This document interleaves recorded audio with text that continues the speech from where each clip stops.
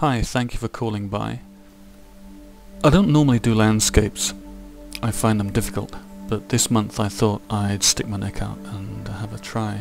And I found in a little booklet that came with a CD of authentic Chinese music, there was this little booklet that came with it the size of a CD case and maybe 15 paintings in there.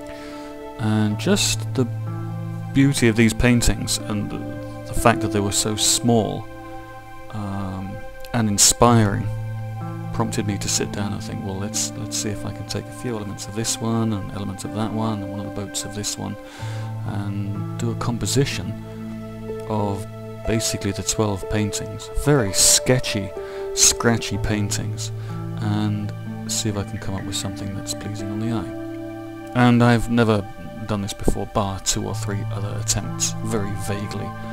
So let's see what I can come up with.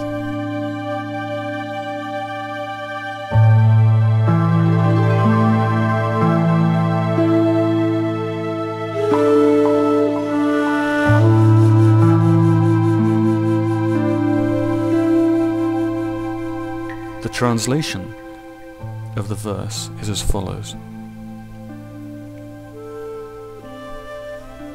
To One Unnamed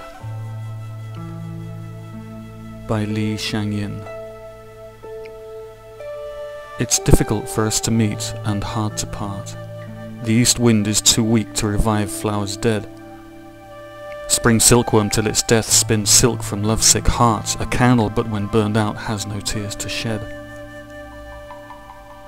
At dawn I'm grieved to think your mirrored hair turns grey.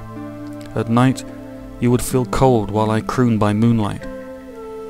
To the three fairy hills it is not a long way. Would the bluebirds oft fly to see you on the height?